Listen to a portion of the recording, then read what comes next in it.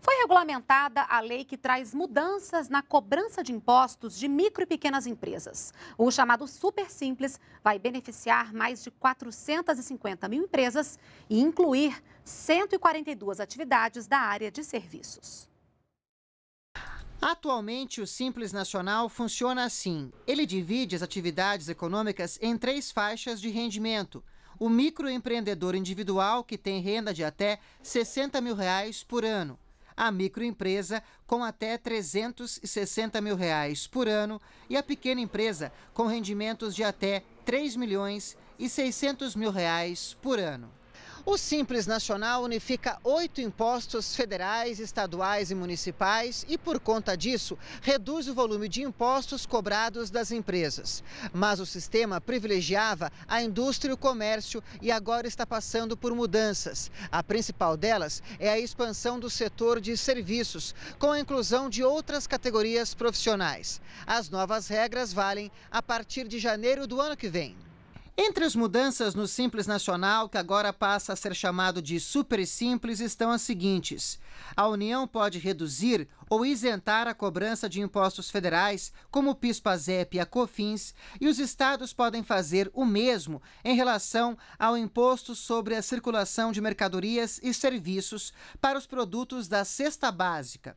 O Comitê Gestor do Simples Nacional, ligado à Receita Federal, tem de aprovar qualquer pedido de nova informação ou declaração às micro e pequenas empresas. Microempresas com rendimento de até 360 mil reais por ano podem solicitar aos estados a cobrança de um valor fixo de ICMS por mês e aos municípios um valor fixo mensal de ISS, que é o Imposto sobre Serviços. O empregador que contratar os serviços dos microempreendedores individuais não vai precisar mais recolher 20% do salário pago para o INSS. Ficam fora os serviços de hidráulica, eletricidade, pintura, carpintaria e manutenção de veículos. Além dessas mudanças, vão ser incluídos no Super Simples 142 novas categorias. 135 vão ser regulamentadas em dezembro e sete já foram regulamentadas nessa segunda-feira. Entre elas está a deste corretor de imóveis, que tem uma empresa no ramo há seis anos em Brasília. Ele não parte do Simples Nacional e paga os oito impostos que são cobrados da atividade imobiliária de forma separada, pelo chamado lucro presumido.